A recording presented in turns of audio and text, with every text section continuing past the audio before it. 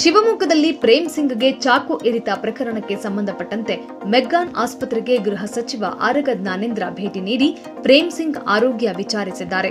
ಇದೇ ವೇಳೆ ಮಾತನಾಡಿದ ಆರಗ ಜ್ಞಾನೇಂದ್ರ, ದುಷ್ಟರನ್ನು ಆದಷ್ಟು ಬೇಗ ಹೆಡೆಮುರಿ ಕಟ್ಟಿ ಕಾನೂನು ಕ್ರಮ ಕೈಗೊಳ್ಳುವುದಾಗಿ ಹೇಳಿದರು. ಮಾಹಿತಿ ಇದ್ದಕ್ಕಿದ್ದ ಹಾಗೆ ಆಗಿದ್ದದು. ಹಾಗಾಗಿ ಅದನ್ನು ತಾಬಂದಿಗೆ ತಂದಿದ್ದಾರೆ? ಅಲ್ಲ ನನ್ನ ಗಮನಕ್ಕೆ ಬಂದ ಹಾಗೆಯೇ ಇಲ್ಲಿ ಎ ಸರ್ಕಲ್ನಲ್ಲಿ ಸ್ವಲ್ಪ ಸಂಘರ್ಷ ಆಗಿದೆ. ಅಲ್ಲಿಂದ ಯಾವ ಫ್ಲೆಕ್ಸು ಫ್ಲೆಕ್ಸ್ ಬಗ್ಗೆ ಅಂತ ಕಾಣಿಸ್ತದೆ. ಫ್ಲಕ್ಸ್ ನನಗೆ ಇನ್ನೂ ಡೀಟೇಲ್ ಇದಿಲ್ಲ.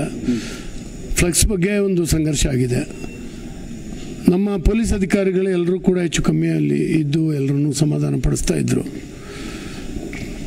ಇದು ನಮ್ಮ ಗಾಂಧಿ ಎಂತ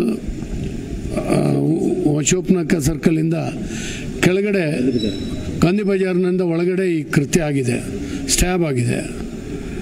ಹಾಗಾಗಿ ಈಗ ನಾನು ಅವನು ಕೂಡ ನೋಡ್ಲಿಕ್ಕೆ ಆಸ್ಪತ್ರೆಗೆ ಹೋಗ್ತಾ ಇದ್ದೀನಿ.